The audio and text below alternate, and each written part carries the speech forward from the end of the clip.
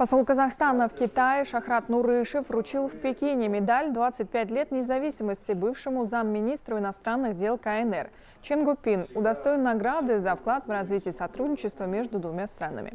Сейчас он комиссар по борьбе с терроризмом, поэтому во время встречи стороны также обсудили вопросы региональной безопасности. 中国人民就是由衷的，那么 Эта медаль не только моя заслуга, но и всех моих коллег, которые работают во благо казахстанско-китайского сотрудничества. Я верю, что мы будем прилагать усилия для новых достижений. Я выражаю свою благодарность за награду, которая вручена от имени Нурсултана Назарбаева. Я приложу все усилия, чтобы и в дальнейшем развивать дружеские отношения между нашими странами.